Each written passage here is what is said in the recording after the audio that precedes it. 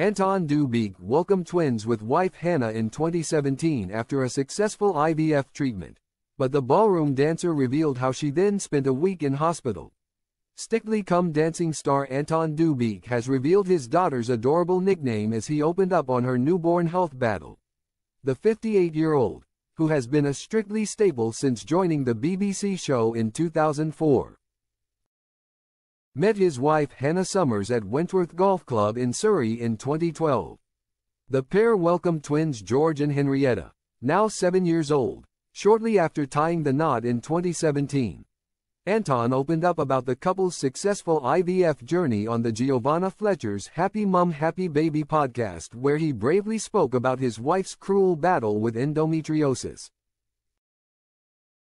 The star revealed that Hannah initially had doubts about their chances of parenthood due to her painful medical condition. However, Anton said that he felt stunned when the doctor delivered the good news that he could hear two heartbeats. Speaking on the podcast, Anton said that Hannah was in hospital for a week after giving birth due to their daughter's small size, and revealed the touching reason behind Henrietta's adorable nickname. He said, I was coming to the end of my tour.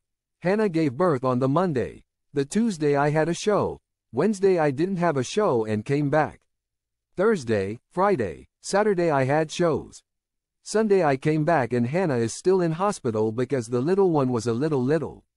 Henrietta, we call her Rah because George, when he was little, couldn't say Henrietta so called her Rah. So she was a little little and they kept having to take blood tests and pin prick her heel.